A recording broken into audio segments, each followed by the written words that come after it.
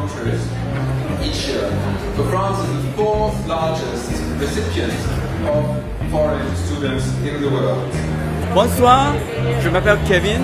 My name is Raja Nurul Aziz. My name is Johan. My name is Daniel Arif. I'm 27 years old.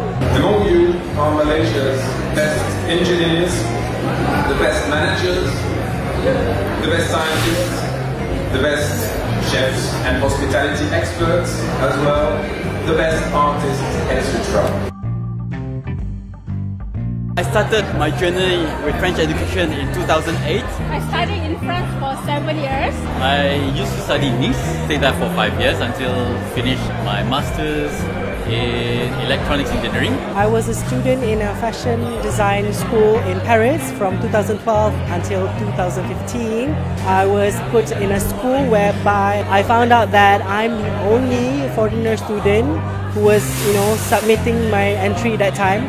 So there were like 49 other local French students and I was the only alien there. Because engineers are everywhere. But uh, the unique point is if you have uh, this specific language, especially French, because of that, uh, when I used to work for a client in KL, I was sent to this country called Niger. Why I was chosen, uh, not just because of my technical abilities or whatever, but it's because of the language. So that I had that opportunity to go there and stay for two and a half months.